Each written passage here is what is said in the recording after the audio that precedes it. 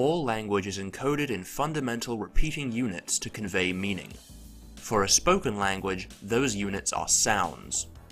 This is the International Phonetic Alphabet, or IPA.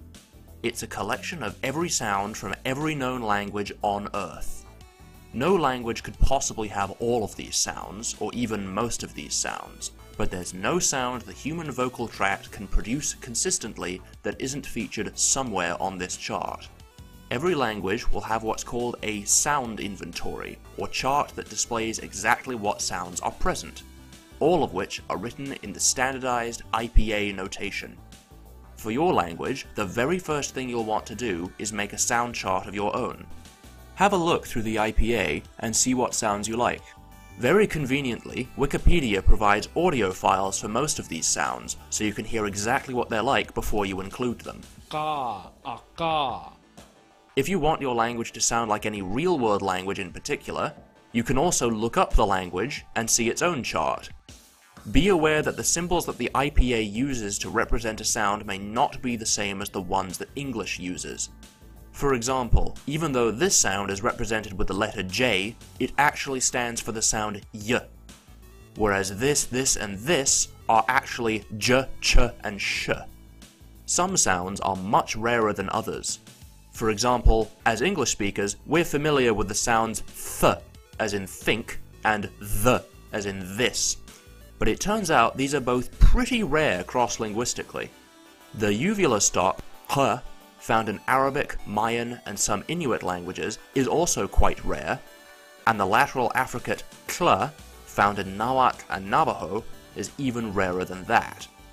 If you're making a fictional universe featuring many languages, it's good to be aware of these and keep the relative cross-linguistic frequencies of these sounds in mind. If you're having trouble thinking of what sounds you'd like to include, try coining some sample words that you like the sound of and listing the sounds that they contain. But it's not as simple as grabbing any random sounds that tickle our fancy. We're dealing with a naturalistic conlang here, and all natural languages share some features in common, and in terms of phonology, one very strong tendency is sound symmetry. In the IPA, the columns indicate where in the mouth the sound is produced, starting at the very front with both the lips, and moving back towards the glottis. The rows represent the way the sound is produced, whether it's a stop, produced by completely obstructing airflow, a fricative, produced by leaving a small gap for air to hiss or buzz through, an affricate, produced by initially obstructing airflow in the same manner as a stop before releasing it in the same way as a fricative, a nasal, produced by letting some air pass through the nose, or a liquid, produced by slightly changing the contour of the unrestricted airway. Any natural language is likely to have more than one sound in any given row or column. There may be one or two exceptions, but for the most part, the sounds present in a language should come in a series. For example, we would never expect to see a natural language that features these sounds, whereas something like this is much more likely to occur naturally. Notice how all of these spaces on the chart contain two symbols. The ones on the right are voiced, meaning they require the use of the vocal cords, while the ones on the left are voiceless, all of these sounds are collectively called obstruents. All natural languages in the world feature at least some voiceless obstruents, but not all natural languages have voiced obstruents. If a language has a voiced version of an obstruent, then it will very likely have its voiceless equivalent. These sounds are called resonants or sonorants. All languages in the world will feature at least some voiced resonants, but voiceless resonants are exceedingly rare. Among consonants, resonants include nasals like ma and na, and liquids like ra and la. Any natural language is very likely to include at least one nasal, in fact I have yet to come across any language that doesn't have a na sound, and at least one liquid. Vowels are also counted as resonants. Every language in the world features at least two vowels, some, like Arabic and Yupik Inuit, have only three vowels. Some Native American languages have four vowels, but by far the most common layout is the classic five vowel system, which is common in every language family on every continent. Some languages, like Turkish, have as many as 8 vowels, and some languages go even further than that. As much as we'd like to think that English has 5 vowels, it actually has something more like uh, 20.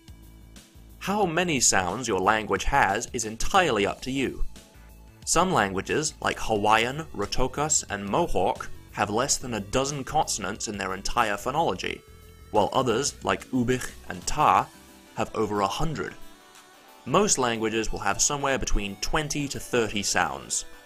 It's always best to err on the side of too few sounds, as a smaller inventory will be easier to work with and help give your language a more distinct and recognizable phonetic character. Plus, there'll be plenty of opportunity to add or remove sounds as we evolve the language further. Once we've chosen our sounds, we can compile all of them into a single chart. So, for our sample language, we'll start out with the basic sounds. Pa, ta, and ka are extraordinarily common, as are ma and na. For now, we won't include any voiced sounds, but that can be remedied later if we want. As for fricatives, sa is extremely common, so we're safe including that, and the glottal fricative ha is fairly common too. But just for fun, let's throw in something a little less common, like the lateral fricative hla. This is a pretty rare sound, but it can be found in Welsh, Zulu, and Navajo. For affricates, let's throw in a tsa, which is a fairly common affricate and matches the other alveolar sounds we've got. Cha is also extremely common, but I'm choosing to omit it for simplicity, and I'll need it to help illustrate something later on. Keeping the idea of sound symmetry in mind, we might also want to throw in the lateral affricate kla to match the lateral fricative. Again, we're not using any voiced obstruents at the moment, so we won't include za or za, or la or dla. There are many different variations of R-like sounds, from ra to ra to ra or even ra, but the most common is the simple tapped ra, so we'll use that one. L also has a bunch of different variations, like la and ya and la, but we'll stick to the basic la. Finally, let's throw in wa and ya, both very common sounds, and voila! we have our consonant chart. As for the vowels, we'll just use the basic 5 vowel system since it's the most common. I'm also going to throw in vowel length as a contrastive feature. A long vowel usually sounds more or less the same as its short equivalent, just held about twice as long. Having a distinction between long and short vowels is extremely common across the world. English kind of has long vowels, but they only appear in specific phonetic environments. Compare the pronunciation of back versus bag. However, languages like Latin, Finnish, or Mongolian pay much closer attention to whether a vowel is long or short. Long vowels will be useful later on, so we'll include a long version of every one of our five vowels. So there we have it. Here's our finalized sound chart. It's pretty basic, but it'll serve us well when we make the proto-language. But as you'll see, there's going to be plenty of opportunity for modification later. Now for a quick note on romanization. You may have some IPA symbols that aren't practical to use when transcribing your language, so you'll have to choose easier characters to represent these sounds. It is strongly advisable to choose symbols to represent these sounds that are as easy as possible to interpret. For our language, let's represent the y sound with a y rather than a j, as most English speakers would mistake that for a j. Other than that, the only sounds our language has that are a bit unwieldy to write down in the IPA are the lateral fricative and affricate. Most readers would have no idea what sound to make for these symbols, and it would be a real pain to have to look up and copy and paste these symbols every time we wanted to use them. Instead, let's simply represent them with HL and TL respectively. These are what we call digraphs, where a single sound is represented with multiple characters. Now, written as digraphs, these might be misconstrued as consonant clusters, so someone might be tempted to read atla as atla. But as long as we detail this in our romanization system, and have a way of potentially disambiguating any similar consonant clusters that occur, we should be fine. And then there's the issue of representing long vowels. A frequent way to do this is by simply writing the vowel character twice to indicate that you hold it for twice the length.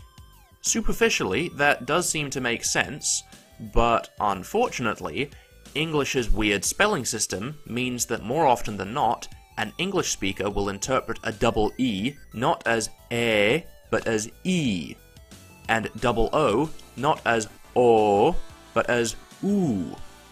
There are a couple of ways around this, but I'm going to take the simple way out and just use vowels with macrons, just as Latin does. But we're not out of the woods just yet. A language's phonology is more than just a collection of sounds. Every language has a series of rules that governs how sounds can be put together. This is part of the reason that languages have recognizable phonetic qualities. We can often make a pretty good guess at what language a person is speaking, even if we don't speak it ourselves. The first and most basic rule to set is syllable shape. Any given syllable consists of up to three segments. The onset, the consonant that begins the syllable, the nucleus, the part of the syllable capable of receiving stress, which is almost always a vowel, and the coda, the consonant that ends the syllable, if there is one.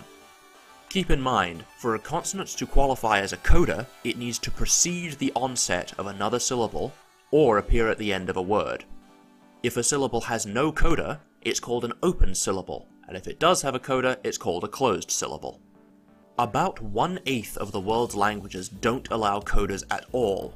Hawaiian, Swahili, and Guarani consist only of open syllables.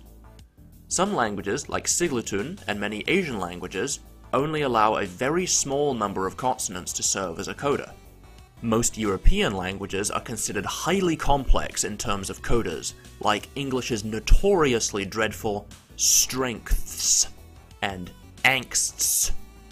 And some languages go even further than that. It is possible, if not likely, that your syllable shape will change as you evolve the language, to illustrate this, and to keep it simple, I'm going to say that our proto-language is going to consist of purely open syllables. Another rule you want to establish early on is how the stress system works. In most languages, a certain syllable of any given word will receive the stress.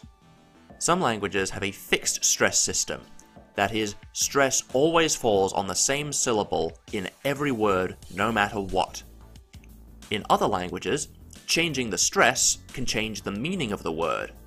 Compare the English present versus present. And in yet others, which syllable is stressed depends on the phonetic environment. In a language like Latin, the third to last syllable receives the stress, unless the second to last syllable contains a long vowel or has a coda, in which case it receives the stress. Since our sample proto-language consists of purely open syllables, we don't have to worry about coda consonants. Let's just say that the stress always falls on the third to last syllable unless the second to last syllable contains a long vowel. And there we have it, one proto-phonology. Now we have everything we need to start coining words.